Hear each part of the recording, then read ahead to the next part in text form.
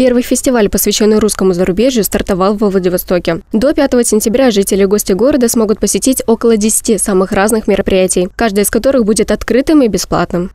Цель нашего фестиваля, она заключается в том, чтобы привлечь внимание, популяризировать информацию о русской иммиграции, о русском зарубежье, о том вкладе, который наши с вами соотечественники внесли в развитие мировой культуры, мировой науки.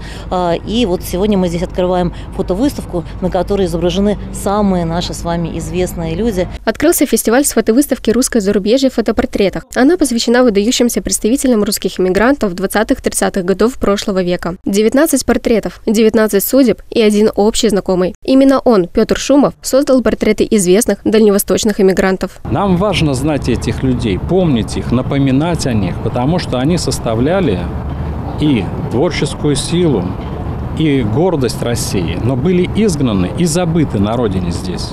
Мы хотим, чтобы Владивосток был точкой возвращения памяти о русских изгнанниках и прежде всего о тех лицах, которые являются гордостью России и которые будут жить, если не в веках, то в десятилетиях еще очень долго.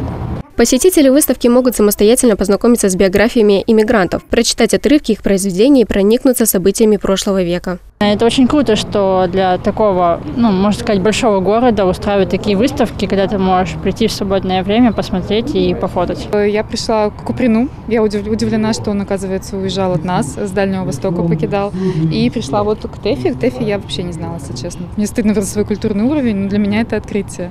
Все остальные фамилии более-менее знакомы. На самом деле, все, что связано с этой выставкой, это очень тяжело по той причине, что иммиграция этих людей не прошла бесследно и для нас, и для них самих в первую очередь. Они все-таки люди. И это очень больно уезжать и со своей родины, и буквально гонимые отсюда.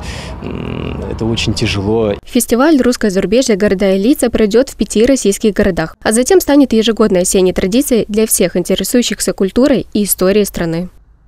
Мария Киреева, Денис Фадеев. Новости на восьмом.